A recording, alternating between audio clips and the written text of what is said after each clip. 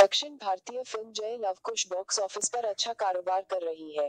Junior NTR starrer इस film को दुनिया भर में चार हज़ार हज़ार स्क्रीन पर रिलीज़ किया गया था। ओपनिंग वीकेंड पर फ़िल्म में अच्छी खासी कमाई की है। फ़िल्म की सफलता का जश्न मना रहे जय लवकुश के निर्माताओं ने हैदराबाद एक प्रेस कॉन्फ्रेंस रखी थी, जिसमें उन्होंने फ़िल्म को सेंसेशनल ब्लॉकबस्टर बताया।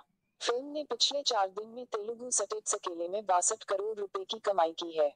जबकि सिर्फ़ तीन दिन का वर्ल्ड वाइड कलेक्शन पिछहत्तर करोड़ रुपए था। शुरुआती पाँच दिनों में फ़िल्म ने कुल सौ करोड़ रुपए कमाए हैं। एस रविंद्र निर्देशित ये तेलुगु एक्शन ड्रामा जय लवकुश पिछले गुरुवार को रिलीज़ हुई। इस कारण फ़िल्म को चार दिन का वीकेंड मिला। तेलुगु बॉक्स ऑफ़िस में चार दिनों में फ़िल्म ने कुल बासठ करोड़ रुपए कमाए हैं। अमेरिका में भी इस फ़िल्म को पसंद किया गया। इसने वहाँ आठ दशमलव चार एक करोड़ रुपए का कलेक्शन किया।